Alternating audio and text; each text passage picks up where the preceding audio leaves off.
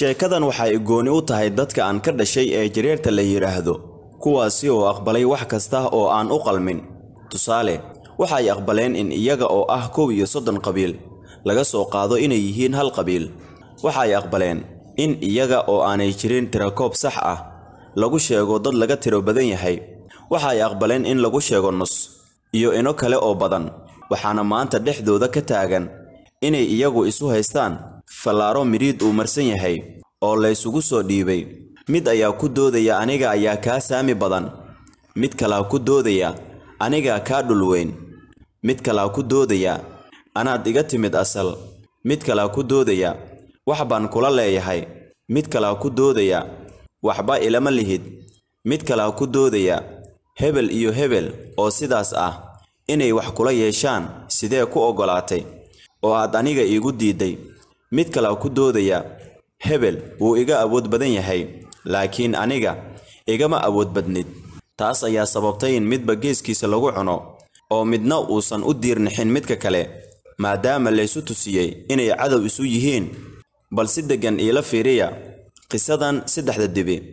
Kadibna aan ku fasirno wacyiga jareerta ee maanta taagan yihiin ma u muuqannaa kuwa laga ciribtiri doono soomaaliya? Sida saddexdaasi dibi mise waa hore oo aan waayadan ahayn waxaa meel ku wada noolaan jiray saddex dibi.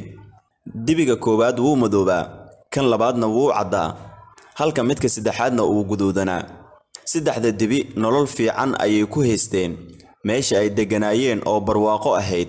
Siday u joogeen ayaa maalin maalmaha ka mid ah la soo dirsay libaax. Waxa uu libaaxii bilaabay inuu wax ugaarsado laakiin wax walba waa uu heli waayey muddo kadibse waxa uu arkay saddex dibi. Wuxuu ku tashaday inuu dibiyadan cuno laakiin nasiib darro libaaxii markii uu ku soo dhowaaday dibidii ayaa arkay libaaxa. Markii ay soo jeesteenna waxa ay hal mar weerar ku qaadeen libaaxii oo ay eryadeen libaaxii waxa uu ka yaabay sida dibiyadu isu duuban yihiin. Waxa uuna ku fikiray inuu isu diro dibiyada oo uu mid mid u ugaarsado iyaga oo kala jabsan. Waxa uu la hadlay dibidii waxaana uu yidhi walaalayaalow aan nabad ku wada noolaanno. Saddexdii dibi aad ayay ugu farxeen. Waxa ku farxeen in uu maanta libaaxu nabad raadis yahay. Waxayna oggolaadeen in nabaddu ay iyagu u fiican tahay oo ay ku badbaadi karaan. Waxayna dibidii ku jawaabeen waa yahay libaaxow. Markii ay libaaxii iyo saddexdii dibi ay isdhexgaleen ayaa waxa uu libaaxu bilaabay in uu dibidii isku diro. Habeen habeennada ka mid ah ayaa libaaxii la sheekaystay. Dibigii madoobaa iyo kii guduudnaa waxa uuna ku dhahay ma ogtihiin in dibiga caddi uu khatar inoo keeni karo? Habeenkii marka ay gudcurka tahay oo midabkiisu caddaanka ah la soo raaci karo isla markaasina la ogaan karo inaan meeshan barwaaqada ah degannahay waxaa suuragal ah in laynoo soo weeraro oo meesha nagala wareego. Sidaas darteed sowma habboona inaan dibiga cad iska qabanno oo aan araggiisa qarinno labadii dibi waxay iskumar yidhaahdeen alla haa waa runtaa libaaxow. Waxayna islamarkiiba dileen dibigii caddaa raqdii dibiga cadna waxaa goor ay saq dhexe ahayd u tegay libaaxii oo cunay.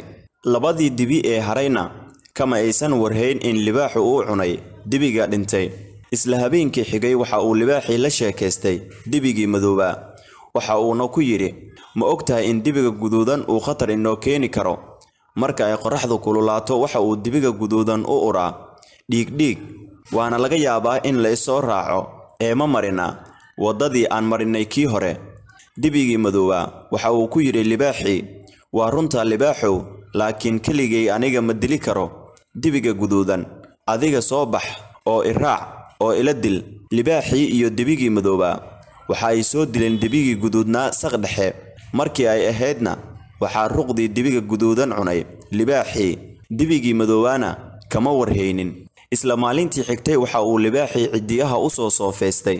Dibigii madoobaa markii uu dibigii madoobaa arkay libaaxa ka xoog badan ee dilaya waxa uu yidhi saaxiibkii dile silac baa u dambeeya. Halkaas ayuuna libaaxii ku cunay dibigii ugu dambeeyey ee saddexaad.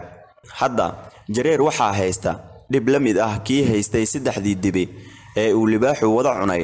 Walaalahaygii jareerta ahaayow sow ma ogtihiin haddii aan u midowno sida ay u maleeyaan inaan u midaysannahay.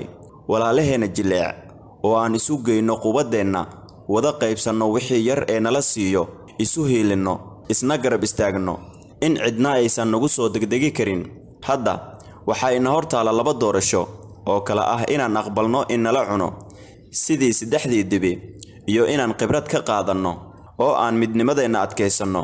Ayaa lagu yidhi maqaalkan oo uu qoray cabdishakuur shaashaa udoodaha sinaanta soomaalida akhrintu waa anigoo cumar guux ah baahintii city somaali t v